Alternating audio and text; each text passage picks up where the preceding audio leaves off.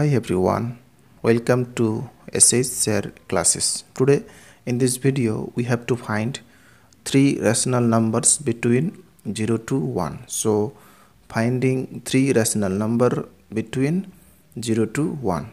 So let's start the video.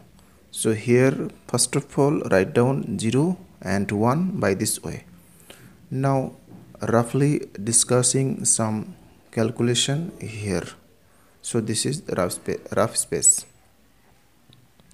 Now we can express 0 as 0 over 1 and 1 as 1 over 1 okay.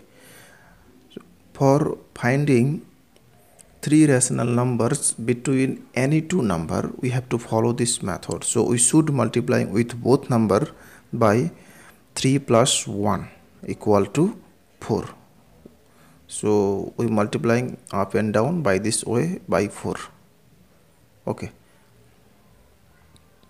So this is all time 0 and this is 4 over 4 now between 0 to 4 we can find three natural number and by these three num natural number we can form three rational numbers. So here all the rational numbers are 0 1 over 4 2 over 4 3 over 4 4 over 4 among these these are the required three rational numbers between 0 to 1 so therefore three rational numbers between 0 to 1 are first one